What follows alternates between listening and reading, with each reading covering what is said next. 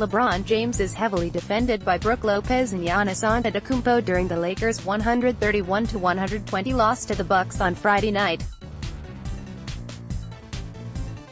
AP Los Angeles, Eric Bledsoe scored 31 points, Malcolm Brogdon added 21 points, and the Milwaukee Bucks held off the Los Angeles Lakers 131-120 on Friday night for their eighth consecutive victory and 10th in a row on the road. The NBA's best team had its hands full for much of the fourth quarter, when the game was tied six times over the final seven minutes. Bledsoe's basket tie did for the last time at 118 all. That launched a game-ending 15-2 run with all but four of the points scored by Bledsoe and Brogdon. Rajon Rondo and LeBron James had turnovers during the Bucks spurt.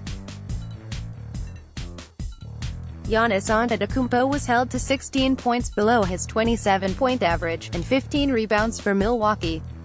Brandon Ingram and James scored 31 points each.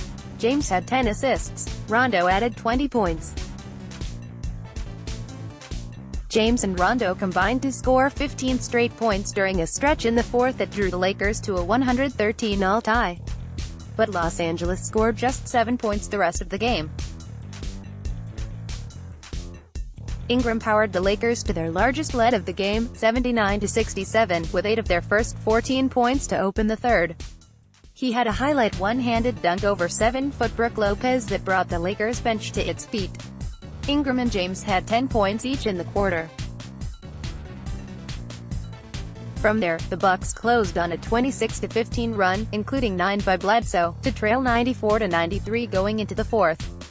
The Lakers outscored the Bucks 15-9, with 6 by Kyle Kuzma, to end the first half leading 65-59.